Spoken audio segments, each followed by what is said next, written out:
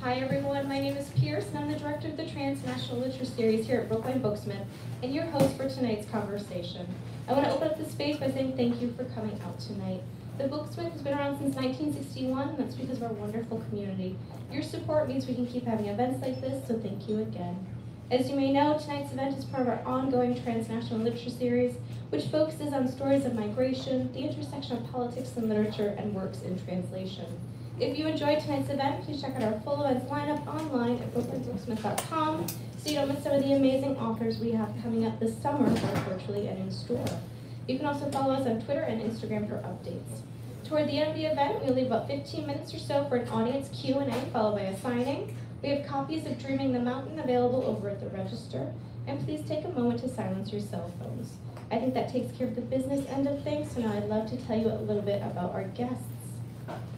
Tonight I have the very great honor of introducing Nguyen Ba Chung and Martha Collins here to discuss and celebrate the release of their new translation of Dreaming the Mountain, the North American debut of one of the great cultural figures of modern Vietnam. Nguyen Ba Chung is a writer, poet, and translator whose essays and translations have appeared in Vietnam Forum, New Asian Review, Boston Review, and Nation, among others. Beginning in 1987, he was associated with the William Joiner Center at the University of Massachusetts Boston, responsible for bringing Vietnamese writers to Boston, translating their poetry and short stories, and introducing them to an American audience. In 1996, he started working full-time there and began a summer study program with Hue University. He is the co-translator of over a dozen works, including A Time Far Past, From a Corner of My Yard, Distant Road, Six Vietnamese Poets, and Carrying the Mountain and River on Our Shoulders. Several collections of his own poetry have been published in Vietnam. Martha Collins has published 11 volumes of poetry, most recently Casualty Reports, and Because What Else Could I Do, which won the Poetry Society of America's William Carlos Williams Award. Her previous books include a trilogy of works that focus on race, beginning with Blue Front, and followed by White Papers and Admit One, an American scrapbook. She has also published four previous volumes of co-translated Vietnamese poetry and co-edited a number of volumes, including with Kevin Foofer, Prufer into English Poems, Translations, Commentaries. She's the founder of the Creative Writing Program at UMass Boston and former professor of creative writing at Oberlin. And tonight's moderator, Fred Marchant, is the author of five books of poetry, the most recent of which is Said Not Said, published by Graywolf Press and recognized as an honors book by the Massachusetts Book Awards. His first book, Tipping Point, won the 1993 Washington Prize and was reissued in a 20th anniversary second edition. An emeritus professor of English and the founding director of the Poetry Center at Suffolk University, he is the editor of Another World Instead, a selection of the early poems of William Stafford. He has also co-translated with Nguyen Van Chun works by many Vietnamese poets. I'm so pleased to have them here together in conversation, and have Chung, Martha, and Fred.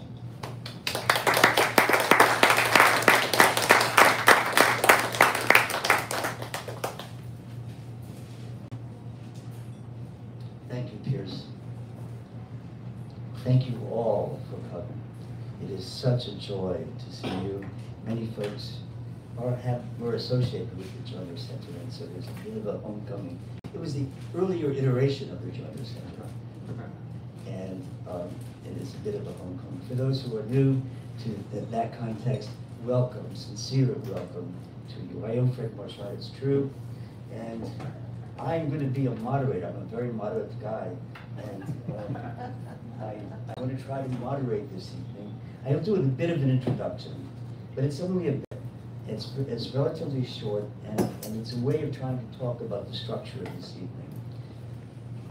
Before I, before I do that, though, I forgot this. The one thing I wanted to remember. There's, there's a, there's a, a person who we really need to thank way in the background of all of this, and that's Kevin Bowen, um, the former director of the Joiner Center. Can't be with us. Maybe he's live streaming. I don't know. If you are, Kevin. great. But- but Kevin, in his 20 plus years as the director of the Joiner Center, he understood at root that, that post-conflict cultural exchange was an absolutely essential dimension of peacemaking. Our first task tonight is to pronounce, really see his name properly. And so I asked Martha a couple of days ago, please help me. Martha did, but you see it didn't take. Could you say your, his name, please, Martha? Or Yeah, how about you? Ouais, c'est. Do it, see? Oui, on parle aussi.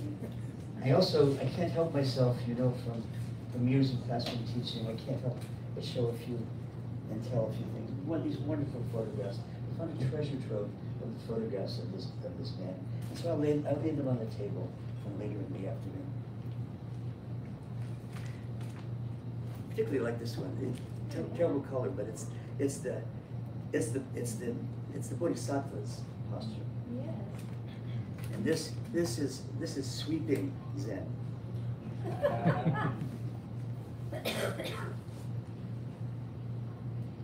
Betsy was, was born in 1943 in the large southern city of Laos, Pakse. 1953, he entered a Zen order, the, actually the most predominant Zen order uh, in, in Vietnam. He studied um, at the Institute of Buddhism in Nha Trang, and then moved to Saigon, where he later graduated from the College of Buddhism in 1964. 1965, he also graduated from the Van Hanh University uh, in Saigon. And in 1970, he became a professor there. In 73, he left Saigon for, as a, as a Buddhist monk, might, he left Saigon for the solitude of the, hill, the hillsides uh, of Nha Trang, and, and began a Buddhist center of Buddhist study. As all of you will recall, which you plug in the date, 1975 was the year um, that then was um, consolidated its control of the entire country, the Communist Party. In particular, um, in 1978, he returned to Saigon from Nha Trang and was then sent to a re-education camp for two years, fundamentally a prison. There is the broader sense he had, and Fred, uh, Fred, we can't hear you. you can't hear me No. still. Is it me? It's on, but it needs to aim at your Okay, mouth. I'm aiming right at you. Yeah, really talking. Thank you. Ah. Yeah, I wanted it down in my heart. That's where the words come from. Right. How's that? Good? Yeah. You, you probably know also that, that in a general sense, that the, the, the Communist Party, um, you know, was suppressed. Fred, stay close. Stay close. Am I okay? Yeah, Yeah. Raise your hand if you can't hear. Thank you. After he, um, after he put two years in prison, he had then um, um, a worse time. In 1984, he was arrested, sent to prison for 14 years. He was released in 1998. He, during that time, he was given a death sentence, and reduced that was reduced to 20 years in um, prison. And then at the end of that, he was in fact offered a chance. He was. The legend goes that he was offered the chance to ask for leniency officially. He refused to. Went on a fast, and uh, eventually, human rights organizations around the world and some American congressmen, I might add, um, uh, leaned in, uh, and the government relented. As far as one knows, there were no poems written during this time of the long imprisonment, but there were poems um, re-education. We're going to use what I just said in terms of the dates as the structure of this night. We're going to, we're going to do, my colleagues are going to read in Viet, some in Vietnamese, some in English, in both languages, um, a pair of poems from those epochs in um, the poet's life. In addition to his poetry, however, you will hear um, many things about Buddhism and Zen in particular. And Tuệ Sỹ is really one of the you know, great figures of Buddhist thought in Vietnam and perhaps in the world. And he's also was a philosopher. He translated not only all the, the sutras um, of the Buddha, but he also translated European philosophers such as Heidegger and Foucault. Published over 50 works. And I'm going to try to end this little introduction quickly by saying this. Around 2016, he gave a talk at Van University in Saigon. The topic was Buddhism and the education of the young. A professor there, Hua Dam, introduced Tuệ Sỹ by saying that his discourse today, Tuệ Sỹ's, would be, quote, like a streaming, a steaming cup of tea. We shall try to receive the offer and sip the brew, to individually taste the wonder of tea. I love the way the metaphor conjures the tea ceremony. In Vietnamese Zen, it's a ceremony that is indeed a meditation practice unto itself. I think the metaphor might also apply to uh, Tuệ Sỹ's poetry. You, you could say you'll sip it tonight. You will, I think, experience the wonder not only of his words, but the wonder of a life so deeply devoted to what we might call the truth of Zen and Zen Buddhism. Having said that, let me then turn. Should I sit down? Should I go sit down now? Yeah, and turn the turn the microphone over to Martha Collins. Uh, I think. Hello, can you hear? No. No, no, No, not through the mic. Is that right? Okay. All right, can you hear and can you see all right? Is it okay if we stay seated, so we're not bouncing up and down? All right, uh, the first poem, and the first thing you're going to hear is a poem in Vietnamese, which Chung will read, and then I will read the English. That's usually the way translation works, but after that, we're going to do the reverse, so that you can hear the poem in English and then hear the Vietnamese, so you'll sort of know what's going on when you're listening. Um, I want you to listen carefully to the music of these poems. These are formal poems. Uh, Vietnamese poetry, formal Vietnamese poetry, uh, has a lot of characteristics that include tone and syllabic count as well as rhyme, uh, which we've only a little bit tried to capture in English. So Chung will read, the first thing you will hear is poem in Vietnamese, and then I will read the translation, and then we'll reverse, and you won't hear trans, you won't hear the Vietnamese for all of the poems. Chung.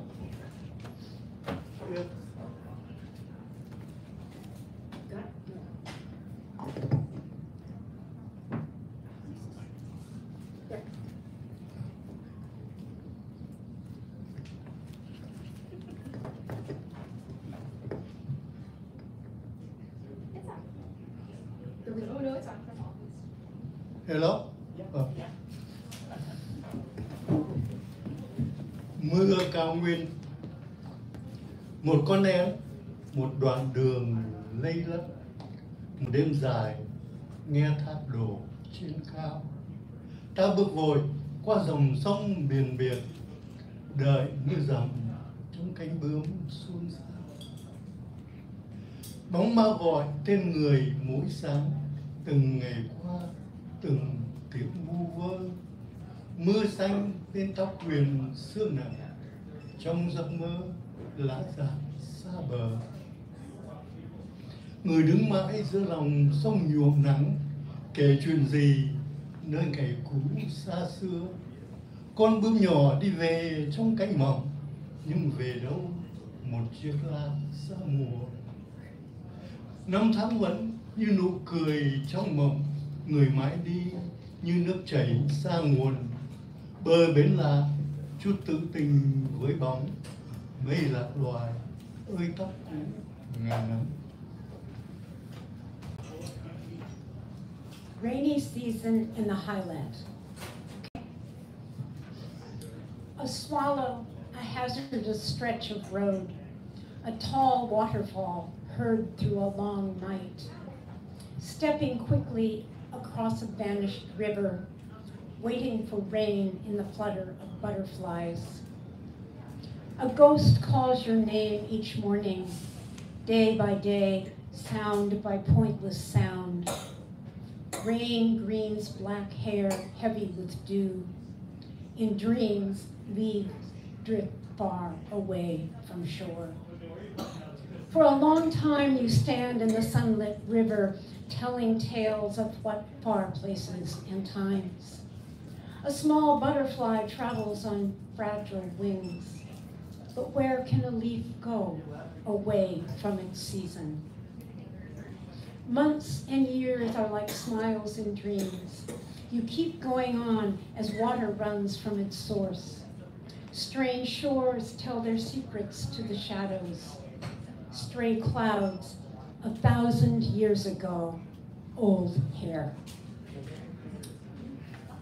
Promised um, people I would tell you the numbers of the poems, the page numbers, so if you have the book, you can follow along. That was on page nine, I'm sorry I didn't announce that one, but the next poem um, is on page three. It's the first poem in the book.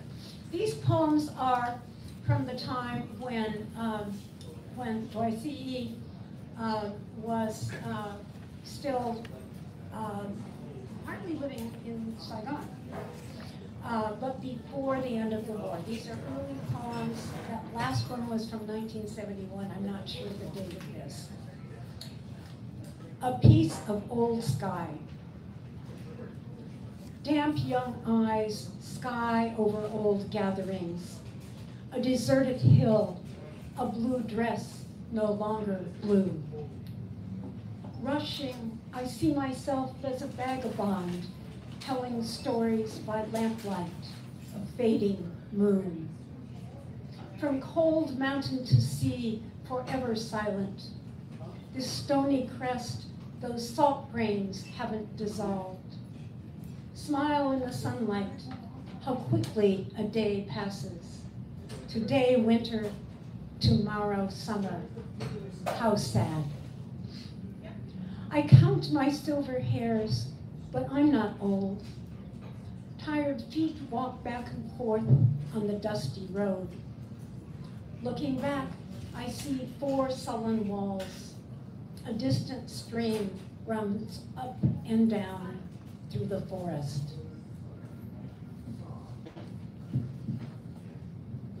khung trời cũ đôi mắt ướt vội vàng khung trời hồi cũ áo màu xanh không xanh mãi trên đồi. Hoa phút vội vã bỗng thấy mình du phủ thắp đèn khuya ngồi kể chuyện trăng tàn từ núi lạnh đến biển im muôn thuở tình đã này và hạt muối đó chưa tan. Cười với nắng một ngày sao chóng thế? Nay mùa đông mai mùa hạ buồn chăng? Đếm tóc bạc tuổi đời chưa đủ bụi đường dài gọt mỏi đi quanh. Giờ ngó lại uốn vách tường ủ rũ. Suối rừng xa ngược nước xuôi ngàn.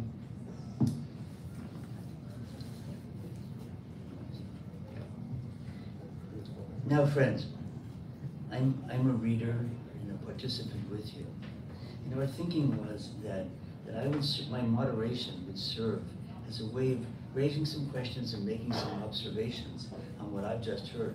But you know, think of your own, and by the way, save them because we're going to build 15 minutes in. And so let me begin by saying, yes, these were poems early on, before imprisonment, and and they are, but they are. He is a monk by this time, and so what I notice about these poems right away, and I notice it in both languages, and perhaps you did too, that there is a there is a great devotion to the line as a unit, moving down the page. In fact, these poems practically have, well, they have little. We'll put it that way, very little connective tissue. There's no, you know, this caused that, or this led to that, or I felt this because. Things of that order. It's, it's a set of images often that are, that are layered, and I think that's a beautiful image that Martha uses in introduction. It's a layered of imagery. It suggested to me something out of, you know, our common carpentry experience, the way laminated wood, pieces of wood can be laminated and made, the whole piece being made strong. And then there's something else, and I'm now going to turn to you folks about this and wonder if this is your thought. If, if what I just said is true about the lineation, the line being the central unit in his art, at least in these poems, and each line is an integral unit actually, and there's little connective tissue. Is it not true? is it not true that um, that the reader is asked to do some work? and to do the work of the poem in a way. And not necessarily making connective tissue, but as you hear it or as you read it, you start to see it in its existence and you follow the movement of that mind. Absolutely. We did not rehearse that. the, I think the rule in uh, American poetry is you usually use a lot of connective connection. Ask for, therefore, ever. So you have an idea what the poet is trying to say. Here, uh, basically you are left alone to figure that out. And so sometimes you figure that out this way, somebody else could figure out that way. And so uh, Vietnamese poetry, I guess similar to Chinese poetry, is unified in the sense that it does not forbid contradiction. Because the idea in Zen is that you have to rise above contradiction.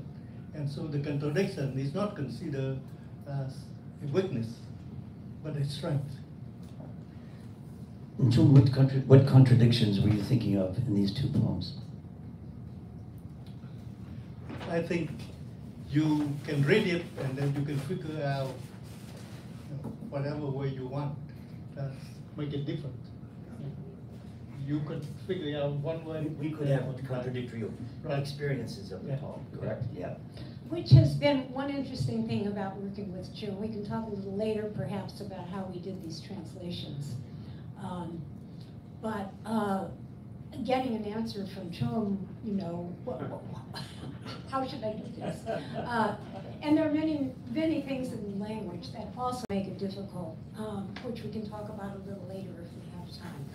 Um, I think we should move on to the next section, which is the poems that uh, wrote after the war, uh, starting in 1960, 1975. Um, a difficult time. These poems uh, are particularly moving to me as our own country uh, increasingly is at odds with itself. And a divided country is something that uh, felt very strongly. This next poem has a little more structure than uh, the, the last conversation or the other poems were suggesting. But uh, it's one of my favorite poems. It's a poem that, in some sense, gives you a little summary of Tuệ Sỹ's life up until the time, which is 1975. Um, this is on page 23. The year, oh, and I should say, uh, the Trường Sơn, uh, we're gonna do that next.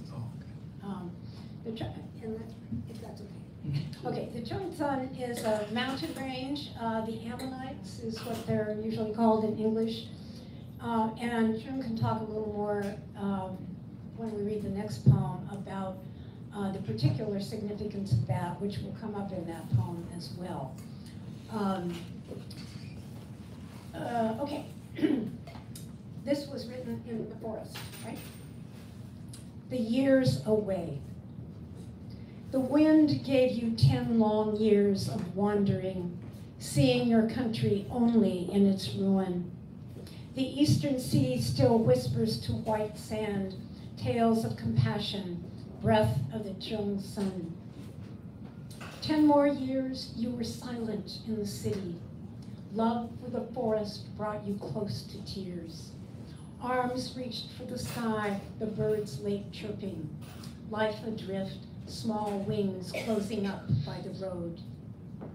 Ten years later, you crossed streams and forests, saw your country as bloody, abandoned fields. Evening smoke fades like wounded souls. Each river, each stream of blood and tears overflows. For ten years, you forgot your reed-thin weakness. On slender shoulders, a new country arose. You bent your head to hear mountain and forest chanting the endless love song of the East. The day you came back to the ancient city, roads were still shadowed with sorrow's smoke. Eyes still shone with timeless indignation, as fresh as rain in the borderlands, as true. Uh, I'm gonna, we'll now turn to the poem on page 29, a very short quatrain. And maybe you could say a little bit more about the significance of that um, 29 and 30, uh, of the, the peak, and also maybe the last line. Let me read it first, and then I'll let you. Reflection, page 29. I can still hear the cicada's song, can still love the night fire's flames. Home is just a peak in the Trường Sơn.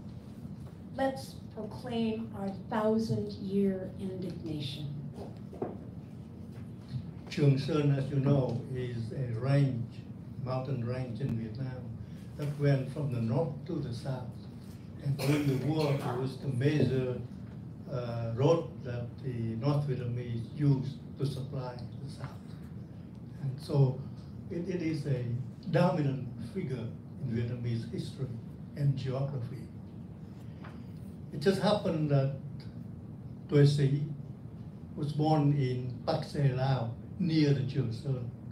So he was very much into Sơn since he was a child. And when he grew up, that figure dominated his thinking. He said that uh, the reason that he think of Trường Sơn was when in 1975 he was sitting in the Zen temple in Trang and he could hear the sounds of the North Vietnamese troops entering the city. And he could see the people all roused up. And he realized that his life probably has come to a major change because he knew that in the North, Buddhism was stifled for a long time. So he realized that from now on, he might not have the same freedom, the same opportunity to practice his real religion as he did. And therefore, he imagined that Vietnam was like the peak of Sơn, bombarded by hurricanes from all sides. And he think of Vietnam as a country buffeted by these storms all over around itself. And that image stayed him for the rest of his life. That's why he called his book a poem The Dream of Trường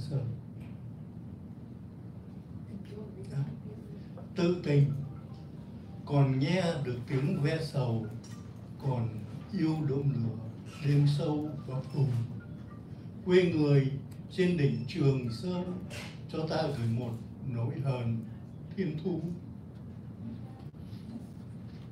And that, that peak uh, in the Chongsun, that line I love. Uh, that Chongsun goes all the way through the book, and home is just a peak.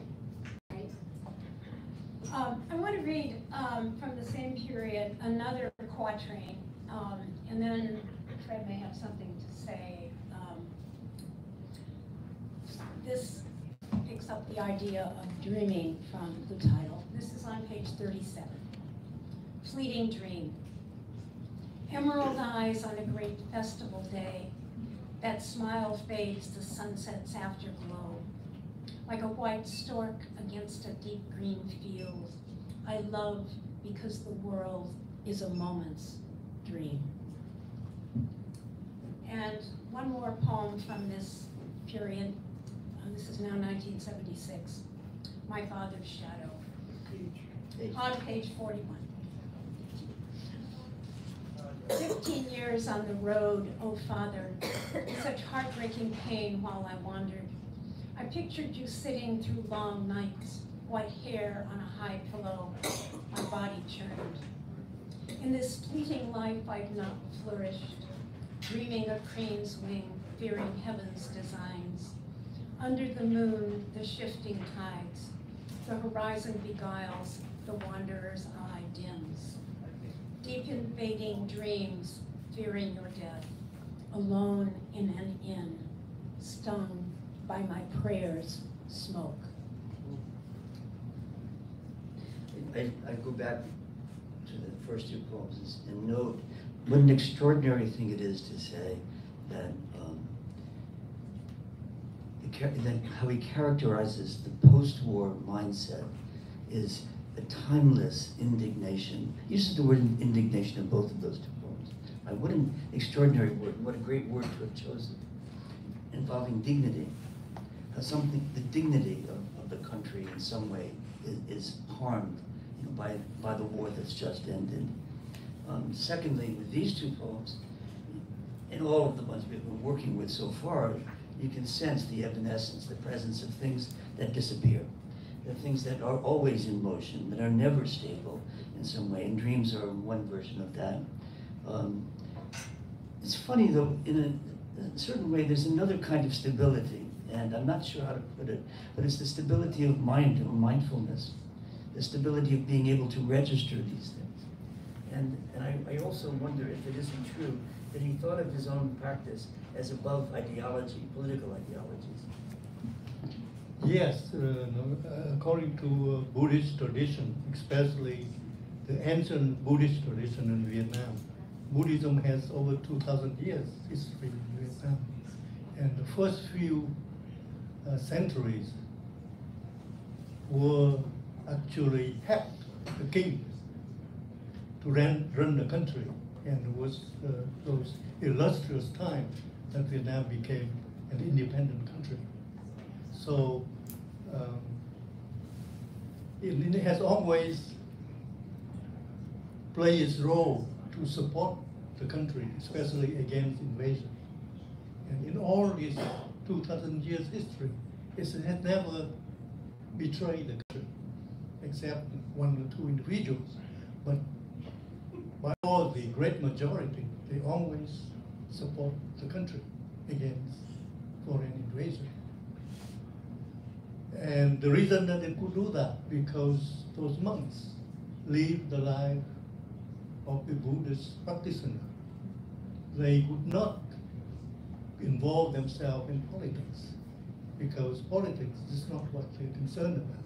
They are concerned about the ethical foundation of the country, about how to lead people so that they could live a moral life, a uh, good life.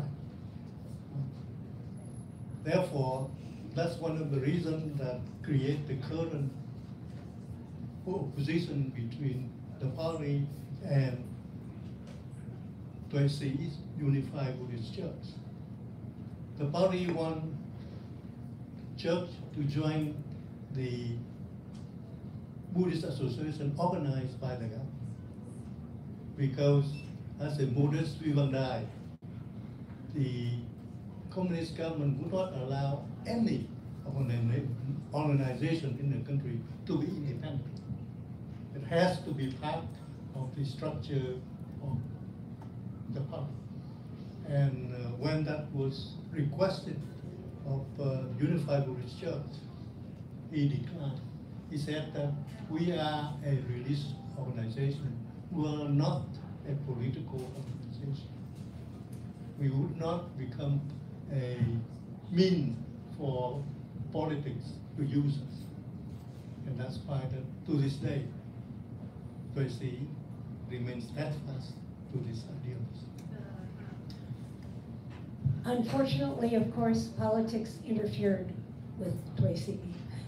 Uh, and the next little section of poems we're going to read, starting on page 55, a poem called I Still Wait. Uh, this was written in 1978, just before he was sent to re-education camp for two years in prison-like conditions. Um, and you'll see uh, his reference to that. This is a poem I'm very fond of. I, and Chung will read it in Vietnamese after I read the English. I still wait. I still wait through long, restless nights, pale green cries sound from the forest edge. In hatred's darkness, there is still love. A star brims like tears beside my lips. I still wait through black, windless nights, the pure shimmering black of ancients' eyes. I look deep to lengthen history's path, a river of blood and tears over the land. I still wait to forget the beating waves, the Pacific Ocean the people back and forth. Those who stayed ache in the tyrant's hands, slender reeds weighed down by the sun at dusk. Then, with a frail body, I face prison, fingers tapping time on a mossy wall. Then, my eyes closed, I go to the dream place, like early dew, like lightning, like evening clouds. tôi vẫn đợi tôi vẫn đợi những đêm xanh khắc khoải, màu xanh sao trong tiếng khóc ven rừng. Trong bóng tối hận thù, tha thiết mãi, một vì sao bên khóe miệng rưng rưng. Tôi vẫn đợi những đêm đen lặng gió, màu đen tuyền, ánh mắt từ ngàn xưa. Nhìn hun hút cho dài thêm lịch sử, dài con sông chàng máu lệ quê cha tôi vẫn đợi suốt đời quên sóng vỗ quên những người xuôi ngược thái bình dương. Ngừa lại giữa lòng tay bảo chúa cong lao gầy chịu nắng ánh tà dương. Rồi trước mặt ngục tù thân bé bỏng, ngón tay nào gõ nhịp xuống tường rêu. Rồi nhắm mắt, ta đi vào cõi mộng, như sương mai, như ánh chớp mấy chiều. Don't you love the sound of music? I think, I, I, my Vietnamese was very, very little when I went to Vietnam for the first time, but I did make a joke. I said, when Vietnamese people see, speak, it's like the birds singing. Um, and I was asking her what kind of birds Not fair. We haven't learned the birds, just. Um, we're going to go now to uh, a couple of poems or parts of poems uh, that were actually written while uh, Tuệ Sỹ was in re-education camp, which is to say, really in prison. Uh, there's a longish poem or sequence of poems called Sitting in the Graveyard. And uh, we'll just read, I'll read the English and then uh, the Vietnamese, the fourth section, which is on page 67. A life, a short stretch of rough road. I listen all night long to a waterfall. I step quickly over a long lost river, waiting for rain to drizzle on butterfly wings. One morning, my eyes flood with the past. The dark road connects to my former lives. I stand forever in an endless forest stream, a fleeting dream of red blood at dusk. một kiếp sống một đoạn đường lây lấp, một đêm dài nghe thác đổ trên cao ta bước vội qua dòng sông biển biệt đợi mưa dầm trong cánh bướm xôn xao một buổi sáng mắt bóng đầy quá khứ đường ngu nối lại mấy tiền thân. Ta đứng mãi trên suối ngàn vĩnh viễn mộng vô thường máu đỏ giữa hoàng hôn. While uh, Tuệ Sỹ was in re-education camp, he wrote a sequence called Sleep Talking in Prison, uh, a sequence of quatrains that he wrote in classical Chinese. And um, we have three of them in the book, two tr translated into Vietnamese by Chung. If you turn to page 71, you'll see transliterated Chinese, uh, Vietnamese, and the English. Um, shall we read the two of these? Okay. Um, I'll read the first one, and then you can read it in Vietnamese. This is a famous poem, right? very famous Okay. Dedication. Two hands lift the prison bowl of rice to dedicate it to the Lord of all. World overflowing with blood and strife. Bowl raised as wordless tears fall. cúng dường xin dâng chén cơm tù này cúng dường đức phật tháng ngày xót thương thế gian huyết hận miên trường bưng chén cơm đồn ngôn lệ. It's become a very famous poem because it was done while he was in prison. And this basically describes the way that a monk, when you, before you eat, you have a ceremony. You pray to Buddha. Uh, but he described his praying that at the, at the time, the world was filled with blood and strife. The country at the time was still in great difficulties. There's a lot of uh, hunger, there's a lot of uh, strife, especially with the embargo by the US 20 years. So, thế gian huyết thần miên trường, world overflowing with blood and strife. So he raised the bowl to you know, the Buddha and ngôn lệ trà, would let tears fall. Tears without any sound, just fall. Because we think of the problem the people is suffering. Maybe this is a point at which I should say something about our process because it was kind of amazing how many emails. We did all of this by email. Uh, Chung would do a very rough translation of the Vietnamese. I insistently always wrote out the Vietnamese and read it to myself in my very terrible Vietnamese, uh, but did my own kind of version of it so that I knew exactly what was going on with every word. And then I would work with my version, of my mess, and his version, send it back to Chung. He would send it back to me, I would send it back to him. I don't know how many times we went back and forth, but you wouldn't believe how many times we sent this poem, this four-line poem back and forth. Sometimes the things that seem easiest are the hardest. And uh, we were both very fussy on both ends. Chung wanted exactly to get as close to the Vietnamese as possible in meaning wanted it to sound like a poem in English without losing the Vietnamese flavor. So uh, I can't tell you what went into the translation of that, but I know it was a lot.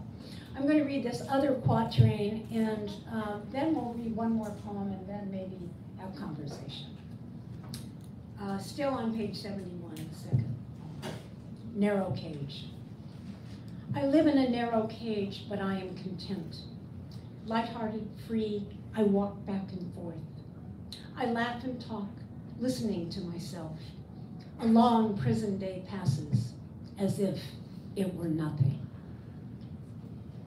lòng chật hẹp lòng chật lòng vẫn tự tại nhàn du bách bộ quanh phòng nói cười một mình mình biết một ngày tù dài như không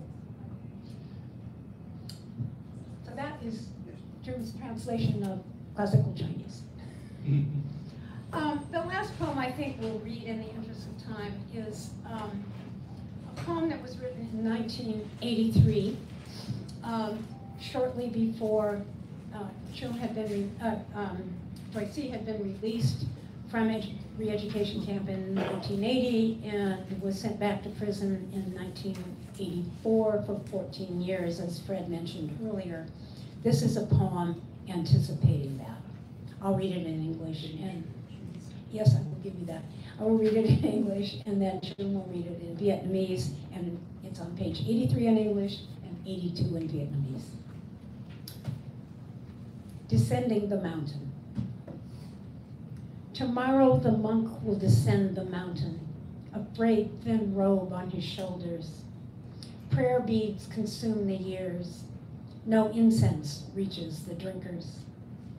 At dawn, the monk will descend the mountain, his white hair vexed by labor. In the east, the sun will be red. No clouds fly in summer. Tomorrow, the monk will descend the mountain, the city his last impasse. Now he coughs in the darkness. That temple grows deep and vast. At dawn, the monk will descend the mountain, tears at the rims of his eyes. Because the monk loves darkness, nightmares wait on the forest path. À, Sơn Ngày mai sư xuống núi Áo mỏng sờn đôi vai Chuỗi hạt mòn năm tháng Hương trầm lỡ cuộc xanh Bình minh sư xuống núi, Tóc trắng hờn xinh ai. Phương đông mặt trời đỏ, Mùa hạ không mây bay. Ngày mai sư xuống núi, Phố thị bước đường cùng. Sư ho trong bóng tối, Điện Phật trầm mông lung. Bình minh sư xuống núi hóc khóe mắt còn rưng rưng. Vì sư yêu bóng tối, Ác mộng giữa đường rừng. Um, I think that's, again, in the interest of time, all the poems we'll read, but I'd like to point out that um, uh, we don't know that Tuệ Sỹ wrote any poems in prison, but since his release, after his release, um, he's written several sequences of poems, and in the back of the book, uh, at the end of the book, you'll find um, two sequences um, in short sections med- uh, meditation room and um, refrains for piano. But I think we should stop there, yes? And um, if you have questions, comments, and then, comments or questions, and then we'll open it up. There was one moment early on, and I still wait, that poem that really caught my ear this time for the first time. And it's this line in English. Those who stayed, it's on page fifty-five, those who stayed ache in the tyrant's hands. And that, that, that, that clipped my mind quickly. I realized, of course, so, so many Vietnamese emigrated, and that's the kindest way to put the word, right? You know, left the country. And, and those who stayed ached in the tyrant's hand. I thought that history entered into, to, to I say, poetry at that moment for sure, you know? Well, I, I think uh, if we put our position of Tuệ Sỹ, some of his brother monks were killed in prison. Not, not one. And his whole church was suppressed. So in his mind, it's a title, behavior in his country. Uh, The, the, the, the communist government brought many good things to the country. The First thing they did was they brought quick peace and they rebuilt the country. But if you put yourself in position of Tuệ Sỹ as an individual monk of a church that's being suppressed by the government, you would have a total different experience. That's where that line came from. I'm gonna make these other two comments very short, because they really are koan-like. Um, One of the most extraordinary things is to, is to feel in any way the presence of nothing, of nothingness. That is the accomplishment, really, of, you know, at least from my point of view, of meditation. Do you think these poems are, in fact, enacting meditation? And is that sense of, it happens actually in, literally, and sleep talking in prison. And, and then the third one, it does, but what is it called, the zen of nothingness. Well, I mean, uh, is a practicing Zen, Zen practitioner. You wake up uh, every day at about two a.m. and, and sit in meditation for two, three hours every day.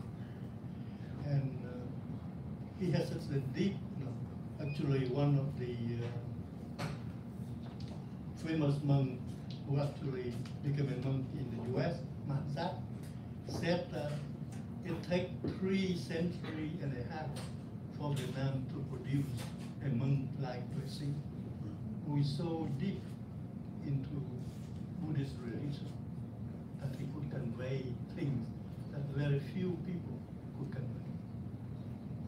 that's the value of his poetry, is that it, it is then in a very, very sort of, as if it is not. You read it, and it sort of seep quietly into you without raising any issues or raising any questions. You just absorb it and you could feel his feelings. That's wonderful, thank you, thank you, John. Um, I think we should open the floor now, we've got about ten minutes, I think, and so we, we can always go back and revi- revisit things. Yes, Uh, Go on with what you were saying. Go on, you said that in one particular poem you had an experience, of nothing. it was the, actually, it was the, it was the, there are three quatrains in the sleepwalking, sleep talking in prison. I sleepwalk, sleep talking in prison, and the third of the one, the one we didn't read, the Martha did not read, was, there's the Zen of nothingness is the phrase that's in that poem. I'll just read it. Yeah. Solitary cell on page seventy-three. I live in a sky of boundless space, a Zen landscape of nothingness. No things, no people, no busyness, just flowers strewn by the goddess. Thoughts, observations, questions, anything? Yes, Molly? Well, it was so, so deeply moving. I felt every single phrase could be, was a poem on its own, or could be a meditation for the morning, or could, I mean, I'm just gonna sit with that, waiting for the rain to drizzle on the butterfly's wings or whatever, or the mossy fingers, the image after image after image that brought me into the center of my being somehow. And I'm just really grateful to hear this work in two languages at least. Thank you, Molly. Other thoughts? I'm, I'm uh, literally thrilled with the translation because the, the song of the Vietnamese is intense and it, it's not lost in the translation. And that's a big risk working in any kind of translation, but something that is so intensely musical to, to carry over intact. And Could, could we Well, ask the translator a question about that? I Okay. really really wanted to ask this question. Go for it. I agree with you, and what, how did you handle rhyme? Okay, uh, um, in the introduction, you'll find a translator's note that explains this in some detail, but, um, the lines, um, of, when the, uh, many of these poems are written in eight syllable lines. Uh, Vietnamese is a monosyllabic language. Um, the equivalent in English is sometimes four syllables for a one syllable word. Um, and we, we don't really think in in syllabics in English, even though haiku often get translated that way. Um, so I settled on a kind of loose iambic pentameter line. Uh, very loose, sometimes tetrameter, sometimes pentameter. Four stresses, five stresses.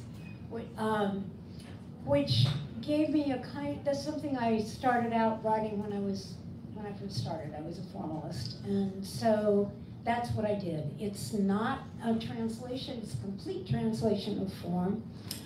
Uh, as for rhyme, what I tried to do was have, if it was a quatrain, that, that poem dedication is thoroughly rhymed, but I tried to have at least one rhyme somewhere in the quatrain. Uh, if these poems had been translated ten times before, I would have been much freer in the way I did things, but, but I was honoring Chung's insistence and my own uh, of being as accurate as possible. So it's a kind of ratcheting down and translation of the form that's there. Uh, I, I would have found it impossible to do these poems, to translate them without trying to get some sense of music into them. So thank you very much for the question. And thank you to Chung for, for putting up with me when I said, no, no, we can't do that because, because there are too many syllables.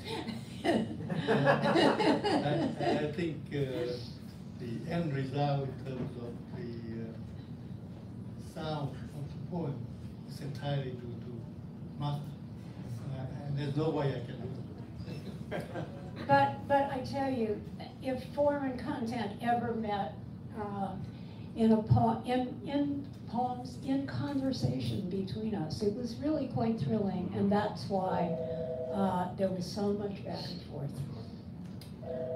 I just want to uh, piggyback on that gratitude that I feel like for us as English speakers to hear the Vietnamese and the English together, as you talk about how it came about and analyzing a little bit of the process, uh, that's interesting.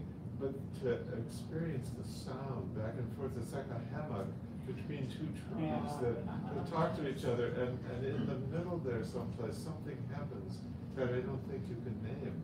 But it's so beautiful to hear that, and to then hear about your process of making that come to be. It's like, wow. There's, there's a quite famous translator who, who described the process of translating as taking the poem out of one language, and before you put it in the other one, it's there. And I think one of the thrills of translation is that you, you have this poem sitting there in no language at some point, uh, which is really kind of magical. Thanks for that metaphor. I love that. Any quest, any other questions, anybody, or comments? Yeah. So, the biography you described, if it happened to someone like me, I would have felt strong emotions of anger, resentment, hatred, aggression.